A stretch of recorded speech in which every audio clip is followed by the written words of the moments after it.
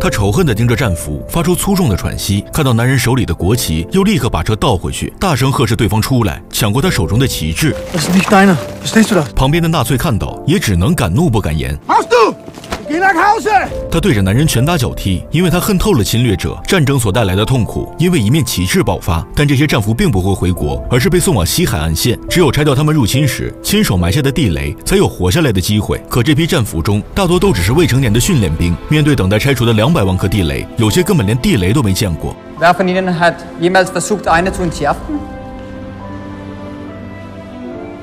教官简单讲了下有关地雷的基础知识，就立刻进入实操环节。可谁都知道，哪怕出一点差错，自己就可能丢掉性命。这群半大的孩子更是被吓得不敢动弹。他们被要求利用实弹训练。很快就有第一个士兵来到引爆区，他先是轻手轻脚放下地雷，拧开上面的盖子，小心抽出引爆装置，再将引信分离出来，就算成功拆除。他拎着空心雷一出来，下个士兵就会立刻进去，周而复始，直到每个人都能熟练拆雷。成功的孩子在归队后都带着如释重负的微笑，本以为一切都。很顺利，一个士兵进去后，却磨蹭了十多分钟都还没能出来。教官看了看表，感觉有些不耐烦。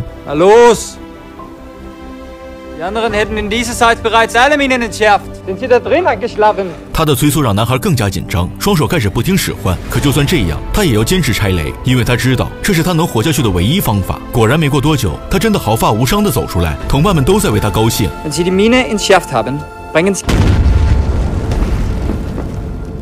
突如其来的变故把所有人都吓傻了。仅仅一次训练就已经有人牺牲，他们来不及悲伤，就已经被分配到驻地。卡尔见到他们时，还有些不敢置信。这群看起来尚且稚嫩的脸，还会因为自己的训斥而紧张的不敢抬头，居然已经成为了预备兵。这很难说不是战争的悲哀与残酷。卡尔带他们翻越山谷，来到靠近西海岸的沙滩，这里有整整四万五千颗雷在等着他们拆除。他们要先清理出一个安全区，再沿着图纸一点点排查地雷的位置。不光如此，他们还得自己收集干草，做成晚上的床垫。男孩们天真的计划着，等排完雷就可以回国，自己要喝妈妈亲手做的汤，要进工厂找份好工作。可领头的赫尔却嘲讽般的冷笑一声。Hast du da nicht was klitzekleines vergessen? Halt dich da raus. Wieso denn? Schön hat ein Recht darauf zu erfahren, dass seine schöne Zukunft nichts weiter ist als eine beschissene Einbildung. 他本无意泼冷水，但赫尔明白，丹麦人不会这样轻易放过他们，等待他们的很可能是不久后的死亡。他们小心翼翼地将铁签插进白花花的沙滩，其中一个男孩很快感觉到有什么东西。Ich habe eine. 他小心扒开上层的沙子，露出外壳，轻手轻脚拧开盖子，再抽出引爆装置，分离出引信，成功拆除一颗地雷。队友们也接二连三发现新的地雷，顶着炎炎烈日进行着拆除作业。这茫茫的一大片沙滩上，还有四万五千颗地雷等待他们一一拆除。他们是战俘，是遗留在丹麦的纳粹士兵。他们没有床垫，就收集干草自己做床垫；没有吃的，就只能饿着肚子排雷。直到已经连续饿了好几天，他们都已经开始体力不支。一个士兵忍不住跑到教官面前，小心询问。Nur fragen, ob Sie etwas davon gehört haben, wann wir das nächste Mal etwas zu essen bekommen, Herr Feldwebel. Ich glaube, wenn wir nicht zu essen bekommen... Was glaubst du? Glaubst du, dass ich ihr mir leid tut? 在教官眼里，就算他们只是群半大的孩子，也不配得到食物。更何况上级根本没给军费，得到如此冷酷的回应，他们只能继续挨饿。可领头的赫尔实在忍受不了，半夜偷偷跑出去为大家找到了食物。谁知第二天就有人出现了问题，一名士兵刚刚开始排雷，手却剧烈的颤抖。一阵眩晕过后，他哇的一声吐了出来。一旁的同伴发现了异常，刚想过去查看情况。硝烟弥漫的土坑边，士兵被炸断了胳膊，饥饿、不适和钻心的疼痛袭来，让这个小小少年发出痛苦的哀嚎。大家都呆住了，很久没能反应过来。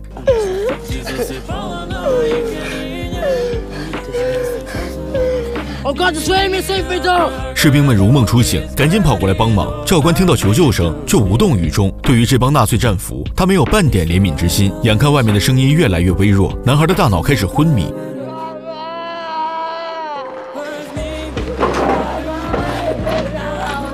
一声声对于家人的呼唤，唤起教官的恻隐之心。他忍不住出门查看，给男孩注射了一针麻醉剂，痛苦仿佛不再清晰。他渐渐安稳下来。随后，教官叫车将他送去了医疗所。可大家的情况也不容乐观，个个上吐下泻。教官开始还以为他们在装，仔细查看后又觉得不像是假的。这时，赫尔站了出来，将事情原委告诉了他。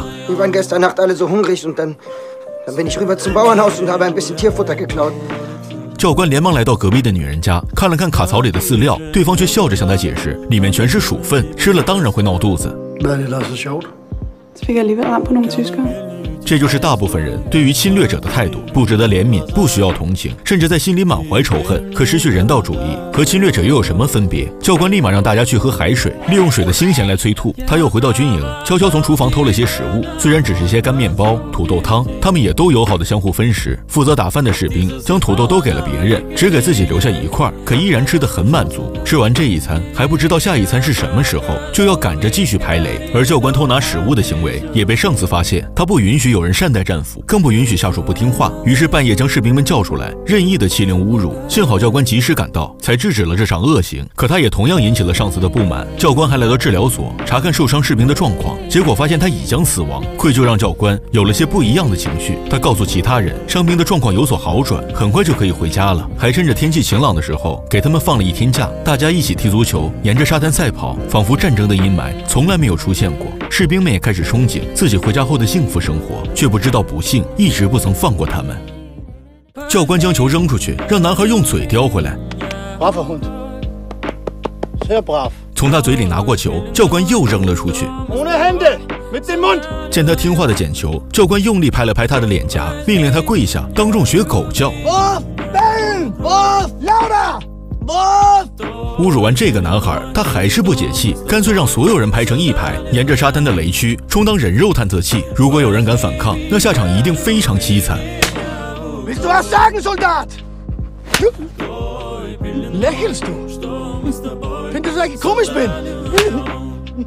士兵们自知理亏，只得手挽手在沙滩上来回行走。他们知道，只要有一步踏错，就会瞬间粉身碎骨，却没有办法反抗，因为他们只是一群战俘，没有人会怜悯。原本善良的教官还常常会偷偷关照他们，可一颗被排漏的地雷打破了微妙的平衡，教官因此失去爱犬，那是他唯一的陪伴。好不容易缓和的关系又再次恶化，而接二连三的厄运还在向他们靠近。这天，克里斯在排除地雷时发现了一根铁丝，这是种从没见过的雷，恐怕下面还埋着一颗。他连忙提醒不远处的同伴，可海边的风太大，还是有人没听见。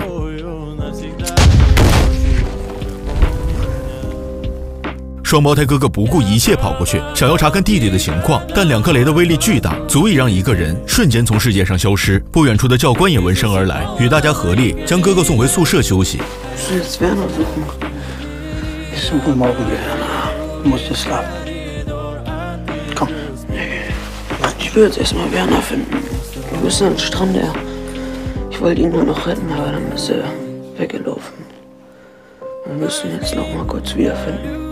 好不容易将他哄睡教官抚摸着他的头发心中又重新升腾起对这群战俘的心疼他们本身都还只是孩子而已这要承担战争的一切后果。这未免太过残忍本来只要将这片区域的地雷全部拆除干净他们还有活下去的希望。可就在后续的一次搬运工作中又发生了爆炸。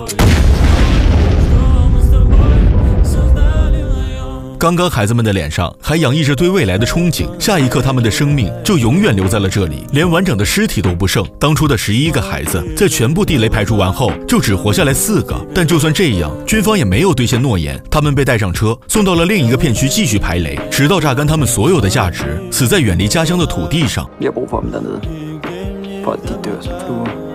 看着车渐行渐远教官的内心在挣扎最终还是没能违背自己将车拦截下来。